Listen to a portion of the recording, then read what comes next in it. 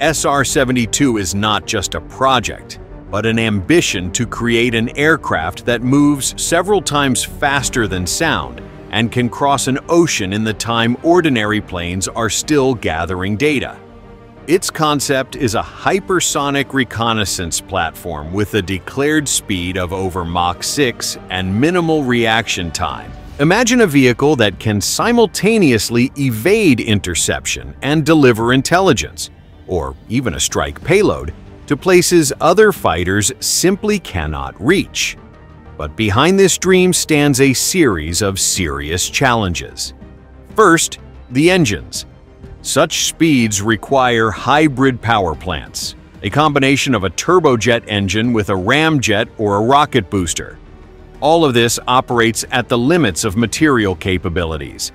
Second, the temperatures. At Mach 6, the airframe heats up to thousands of degrees, so conventional metal would simply melt.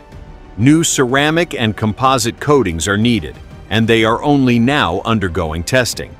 Third, controllability.